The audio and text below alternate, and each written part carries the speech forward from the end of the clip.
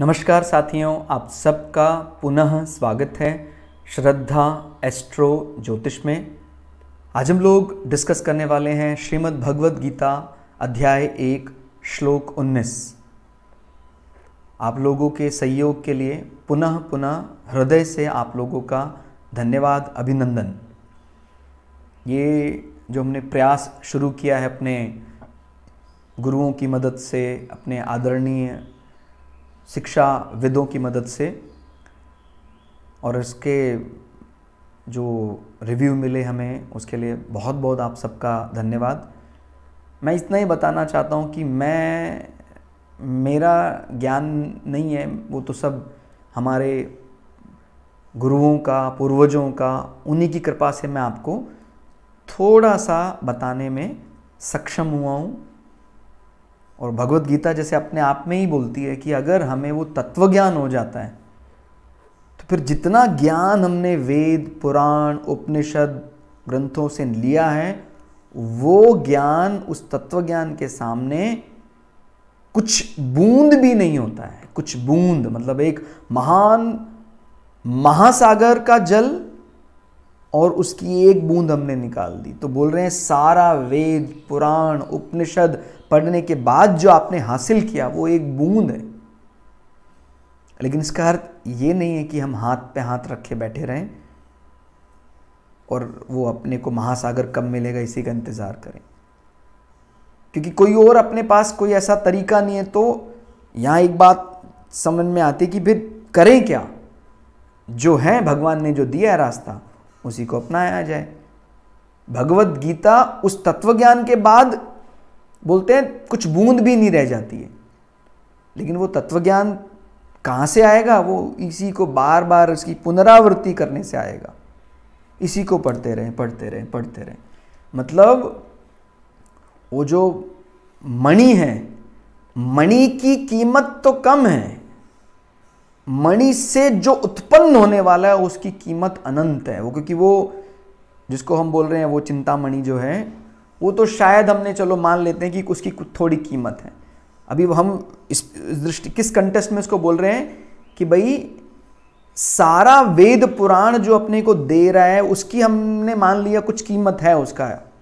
लेकिन उससे जो उत्पन्न होने वाला है, उसकी कीमत तो भाई नहीं, वो तो देता ही रहेगा। काउंटलेस वो तो महासागर है, अनंत महासागर है। तो अनंत ज्ञान की जो कामना करता है, वो ये चिंतामणि अपने पास रखे। जीवन छोटा है, अब सारे वेद, पुराण, उपनिषद शायद कोई एक जन्म में ना पढ़ सके तो गीता को ही धारण कर ले। बार बार हम यही बोल रहे हैं गीता को पढ़ ले या गीता को धारण कर ले, गीता को धारण कर ले। किसी ऐसी भाषा में पढ़ाएँ जो उसकी समझ में नहीं आता है। उससे अच्छा है वो अपनी भाषा में उसको ट्रांसलेट करके समझ कर पढ़े, इसीलिए धारण करना बोल रहे हैं। ठीक है, सत्यमेव जयते, ये हमारे जो, ये कह सकते हैं आत्मा है हमारे संविधान की। लेकिन अगर किसी को उसका अर्थ ही समझ में नहीं आ रहा है, वो संस्कृत का वाक्य, बहुत सुंदर वाक्य है। अब उसको समझ में नहीं आ रहा है, क्या ये सत्यमेव जयते क्या है? तो उसके लिए संस्कृत शब्द का कोई अर्थ नहीं रह जाता और वो संस्कृत शब्द उसको कुछ देने वाला भी नहीं है कि खाली सत्यमेव जयते से हो जाएगा, उसको बताना पड़ेगा, ये क्या है सत्यमेव जयते? तब उसका सही हित होगा। तो देखिए, कितनी बड़ी बात यहाँ लिखी है, उस भयानक शब्द ने मतलब इससे पहले वाले श्लोक में जब सभी पांडवों ने उद्घोष किया, अपने अपने नाद, संख बजाए तो उस भयानक शब्द ने आकाश और पृथ्वी को गुंजायमान कर दिया। मतलब ये जो इस प्रकार के आइडियम या मुहावरे इस्तेमाल किए जाते हैं, वो ये बात समझने वाली है कि जो पापी व्यक्ति होता है, जिसने जीवन में पाप किए हैं, उसको कोई नहीं मारता है। उसका अपना पाप ही उसको मारता है। वो हर चीज़ से भय करने लग जाता है। पृथ्वी उसको हिलती दिखाई देती है, उसको कंपन दिखाई देता है पृथ्वी में, कंपायमान होने लग जाती है क्योंकि उसने पाप किया है। तो पृथ्वी तो कहाँ हिलने वाली है, लेकिन वो ऐसा, उसको प्रतीत हो रहा है। आकाश ऐसा लगता है जैसे अभी उसको आकाश निगल जाएगा। आकाश की विशालता उसको फिर प्रसन्न नहीं कर रही है, उसको अप्रसन्न करने लग जाती है। यानी उसके अंदर भय का संचार हो गया है, क्योंकि उसने अधर्म का सहारा लिया है। तो जो कौरवों के मन में अभी युद्ध शुरू भी नहीं हुआ है, उससे पहले ही इतना भय आ रहा है और वो भी किसी ने बाण छोड़ा है, ऐसा नहीं है। उनके मन में आकाश पृथ्वी तक से भय उत्पन्न हो रहा है।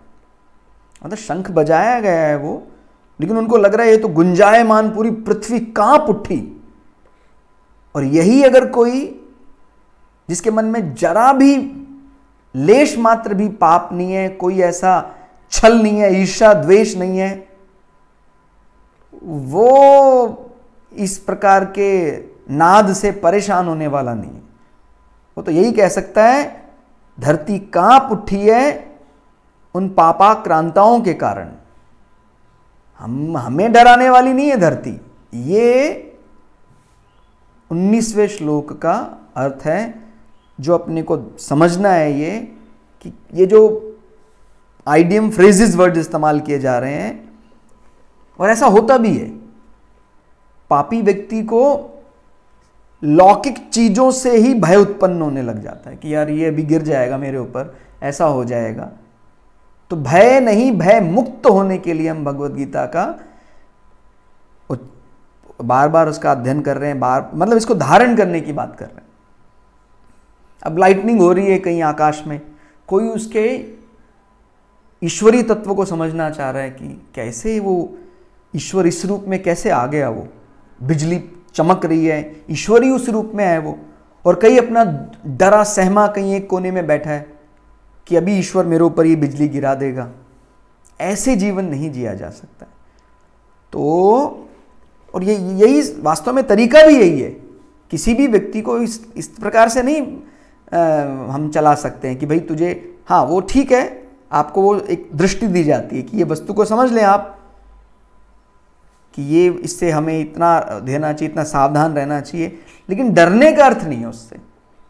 अगर आपके सामने कभी युद्ध की स्थिति भी आती है, अब आप युद्ध के लिए गए हैं, सेना में एक सच्चे योद्धा, एक अच्छे फौजी को, डर सबको लगता है, लेकिन जिसके मन में जरा भी लेश मात्र भी पाप का बह नहीं है, वो उन सीमाओं से बहुत आगे चला जाता है। सेना में, युद्ध में कोई उसको अतिरिक्त नहीं सिखाता है कि आपको ही परमवीर चक्र मिलने वाला है। वो शौर्य वो खुद पैदा करता है, उसकी सत्यता पैदा करती है। तो इसीलिए जो हमारी वफादारी है अपने वचनों के लिए, अपने कर्म के लिए, उस पर अडिग रहना है। उसका अगर हार्स हो जाएगा तो फिर हम भी कौरव ही बन जाएँगे।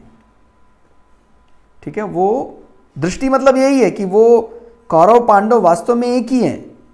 अभी आपके थोड़े से व्यवहार में अंतर आने से आप कौरव बन सकते हैं, माने जो झूठ के साथ या धर्म के साथ। और व्यवहार कुशल होने से आप या धर्म पारायण होने से आप पांडव बन सकते हैं। तो ये सब वस्तुएँ उसको सच में डराती हैं। मेरे ऊपर बिजली गिर जाएगी, पंखा मेरे ऊपर गिर जाएगा, ये हो जाएगा। आकाश कंपायमान हो रहा है, भूकंप में मैं ही मर जाऊँगा, भूकंप आ गया तो क्या होगा? चिंतन अच्छी बात है, इन सब विषयों का चिंतन होना चाहिए। वो चिंता में ही रहता है, अभी ये हो गया तो क्या हो गया, ये हो गया तो गाड़ी में भी नहीं चलूँगा, गाड़ी का टायर फट गया, मैं मर जाऊँगा। तो इसको क्या बोलते हैं हम? अधर्म बहुत किए हैं, पाप है जीवन में, वो डराता है उसको। क्योंकि वो किसी के बस में नहीं है, और वो दिख रहा है अभी कौरवों को कि हमारा पाप हमें हमें मृत्यु देगा। वो सब जान रहे हैं कि हमारी ग्यारह अक्षुणी सेना है। पांडवों से मतलब पांडवों की सात अक्षुणी सेना है। सा, चार अक्षुणी ज़्यादा है, फिर भी वो सब डरे हुए हैं।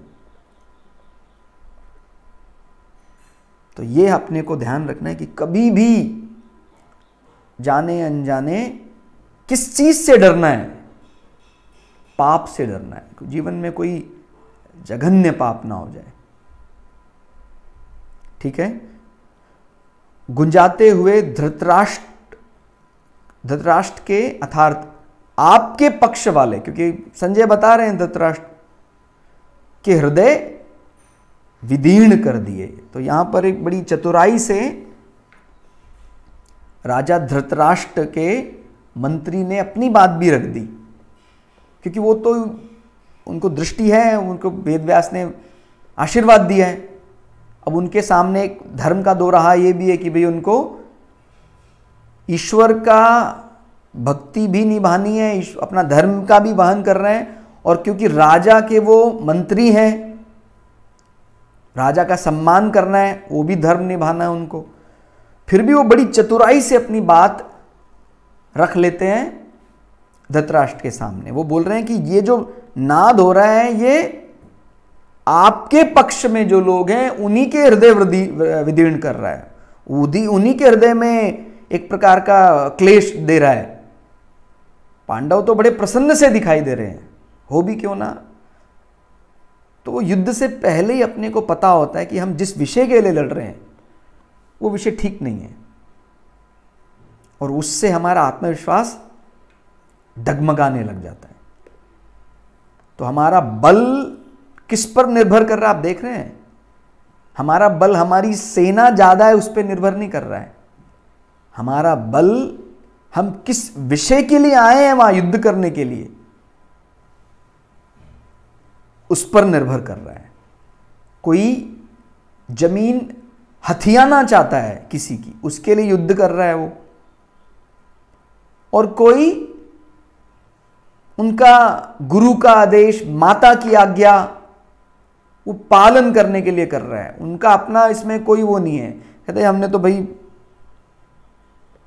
युद्ध में स्थिर, जो युधिष्ठिर हैं, उनका तो पहले ही आग्रह नहीं था। भाई, हस्तिनापुर चला गया, उसके बाद उन्होंने खुद से इंद्रप्रस्थ की स्थापना कर ली। लेकिन अब जब उनको एक प्रकार से ये मिला कि भाई माता की एक प्रकार से आज्ञा है उसमें कुंती जो पांडवों की माँ है उन, उन्होंने आज्ञा दी भाई। शत्राणी किस लिए फिर एक क्षत्रिय को जन्म देती है? फिर वो समझ गए अब हमें माँ की आज्ञा है युद्ध करना चाहिए। तो वो एकदम अलग अलग विषय है जो अपने अहंकार अपने दम्ब को पूरा करने के लिए अपनी कितनी भी शक्ति लगा दे वो, उसको पता है, लेकिन उसके हृदय को बात पता है कि मैं गलत हूँ। और वही बात उसको युद्ध में हरा देती है। और जो हमारी निश्चलता है, धर्म के प्रति जो, क्योंकि गारंटी वारंटी यहाँ किसको लेनी है? जैसे एक टर्म आती है ना गारंटी और वारंटी तो यहाँ किसी और को नहीं लेनी है गारंटी और वारंटी अपने को लेनी है। अगर अपने ने ले ली गारंटी और वारंटी तभी यहाँ युद्ध में जीत होगी। फिर शायद सामने वाली सेना दोगुनों से भी ज़्यादा क्यों ना हो। वो आत्मविश्वास बहुत बड़ी चीज़ है और वो सत्यता पर ही निर्भर करता है। अब किसी को हम बोलें कि भाई हमने किसी आ, उसका हरण कर लिया किसी स्त्री का हरण कर लिया अपनी पूरी सेना को उसमें लगाया हुआ है। माने राम और रावण के युद्ध की बात कर रहे हैं। तो ये योद्धा है उनके मन में, वो तो जानते हैं ना किस विषय के लिए हम यहाँ आए हैं।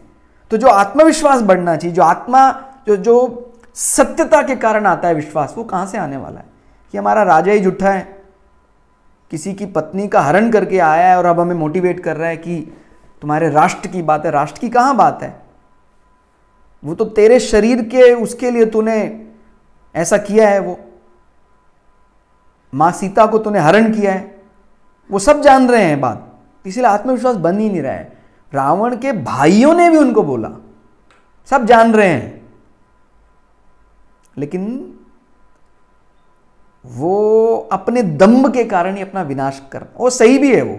कई कई बार ये विषय आता है कि जब सामने वाला इतना समझ रहा है तो वो स्टेप बैक क्यों नहीं ले लेता है? अपना जो कदम पीछे क्यों नहीं रख लेता है? इतना होने के बाद क्या वो बात दुर्योधन नहीं समझ रहा था। समझ रहा था। लेकिन वो वो ऐसा ही प्रकृति बनी इसलिए कि जो उसका अहम है वही इसका सर्वनाश कर देता है। अगर अभी अहम दब गया तो, तो फिर तो वो धर्म फिर वो विधर्मी कहाँ है? फिर तो धर्मात्मा हो गया वो। भाई जैसे कई बार मन में प्रश्न आता है कि भाई ये जो बड़े ए, राक्षस प्रवृत्ति के लोग हैं कोई और देश रखने वाले हैं कोई और असुर हैं वो तो बड़े सुंदर सुंदर रूप भी धारण कर लेते हैं। देवताओं की तरह ही बन जाते हैं तो उसी रूप में क्यों नहीं रहते हैं वो? मतलब ये उस, उसी पैरल उसको लेकर चलिए कि भाई दुर्योधन है उसको अब समझ में आ रहा है कि गड़बड़ हो सकती है भगवान हमारे पक्ष में नहीं है। समझ ही रहा है वो देखकर। फिर भी क्यों नहीं झुक रहे है? तो उसी उसमें यहाँ पर ये बात रखी गई है कि वो रह सकता है लेकिन रहता तो नहीं है ना। जो राक्षस जो असुर है वो देवता का रूप धर लेता है। लेकिन उसको बोल दे आजीवन धर ले फिर तो देवता ही नहीं बन जाएगा फिर उस, उसको आनंद नहीं आता है उस रूप में। कहता नहीं नहीं मेरा गुण है ना मेरा तो दूसरों को परेशान करना ही मेरा गुण है। तो शरीर देवताओं की तरह कर लेना और वृत्ति भी देवताओं की तरह करना तो बहुत बड़ा अंतर है। मुख्य विषय क्या है? अपनी मनोवृत्ति देवताओं की तरह कर लेना। शरीर का क्या है? एक दिन करेगा, वो दो, दूसरे दिन के वो छोड़ देगा कि नहीं नहीं, मेरे से नहीं होता है ये, गलत है ये। ऐसा ही दुर्योधन के साथ। वो समझ रहा है। उसके बाद भी वो उसी धर्म वृत्ति में नहीं रह सकता है, क्योंकि उसको आनंद अधर्म में ही मिल रहा है और वही अधर्म उसके विनाश का कारण बनेगा। तो ये बहुत कुछ देने वाली माँ भगवत गीता हैं, जिसके जीवन में कोई सहारा ना हो। सारे सहारे, या बोलते हैं, जो अनाथ है, उसको सनाथ कर देती है श्रीमद् भगवत गीता। क्योंकि मेरे जीवन में कभी कोई द्वंद आता है। ये ये किसके शब्द में बोल रहा हूँ? राष्ट्रपिता महात्मा गांधी। बोलते हैं, मेरे जीवन में जब भी कोई द्वंद आता है तो मैं किससे विचार करूँ? मैं अभी धर्म संकट में उलझा हुआ हूँ। तो मैं मुझसे ज्ञान में जो बड़े हैं, या कह सकते हैं, मेरा सबसे पहला गुरु कौन? सभी का सबसे पहला गुरु कौन? माँ। तो उस द्वंद से बचने, उस धर्म संकट से निकलने के लिए मेरे जीवन में माँ का विचार आता है। क्या इसका सोल्यूशन हो सकता है? क्या इसका समाधान हो सकता है? तो जब तक माँ थी, उनसे मैं मिल लिया करता था। अब माँ नहीं है मेरे जीवन में, बात, वार्तालाप नहीं हो सकता, उनका देहावसान हो गया तो अब मैं किससे बात करूँ? तो बोलते, अब मुझे मेरी माँ मिल गई है श्रीमद् भगवत गीता।